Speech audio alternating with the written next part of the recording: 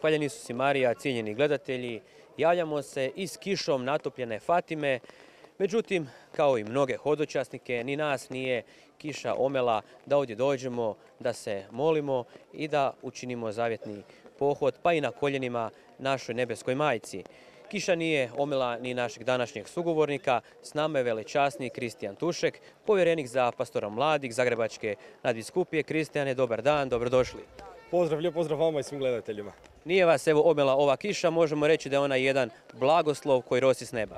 To smo i mi komentirali jer kad smo došli u Fatimu bilo je vrijeme lijepo, onda je počela neka rosa.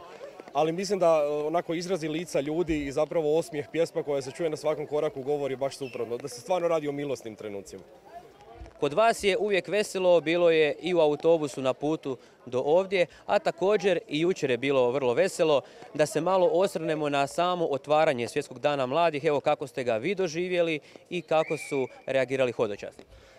Pa mislim da možda nekako kad i dođe čovjek na ovakve susrete nismo ni svjesni o kojem se broju ljudi radi. I e, zapravo kad je trebalo krenuti prema trgu, e, odnosno parku gdje je bila sama misa otvorenja, nekako tek u trenutku kad se ta masa ljudi počela slijevati niza ulica Lisabonskih, mislim da smo tek onda shvatili zapravo koliko nas tamo ima i koliko je mladih zaista pristiglo i ove godine na, na svjetski susret mladih.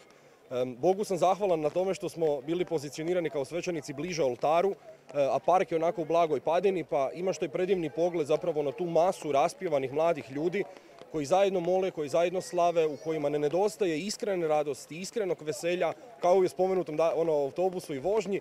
Tako da to govori zasigurno o onoj mladosti koja je s jedne strane pritisnuta mnogim stvarima, ali s druge strane u ovim trenucima i takako znaju pronaći i olakšanje, ali vjerujem i izvor snage za ono što ih čeka u budućnosti. Mnogo toga tišti našu mladost danas, međutim radosno je vidjeti što mnogi mladi pristupaju sakramentu pomirenja. Kakva je situacija po tom pitanju? Pa istina da ih puno toga tišti, ali čini mi se da često puta možda i mi drugi koji ih promatramo ili se njima bavimo, više toga pridajemo nekakvom tom njihovom križu nego što ga oni doživljavaju.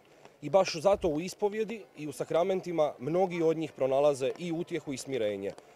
Hvala Bogu da je tako. Kod nas nekako ne možemo reći da su mladi ravnodušni prema ispovjedi. Baš dapače. Ispovjedaju se redovito, ispovjedaju se temeljito, što pokazuje zapravo spremnost njihovoga srca.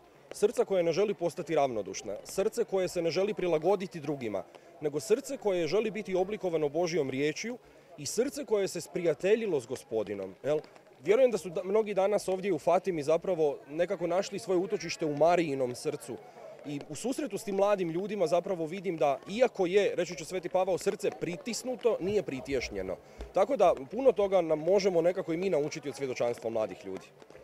Nadovezujući se na ovo što ste rekli, možda smo i na tragu našega pape Franje. Uslijedit će u popodnevnim satima i susret s njim.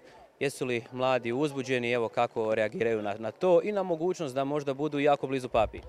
Pa ljepota Svjetskog dana mladih jest upravo u tome što je njezin, njegov inicijator Sveti Ivan Pavao II koji je želio mlade pozvati iz cijeloga svijeta da se ujedine u molitvi s papom. Tako da uzbuđenje radi susreta s papom Franjom, e, kojega mnogi još do sada nisu niti susreli, ne nedostaje.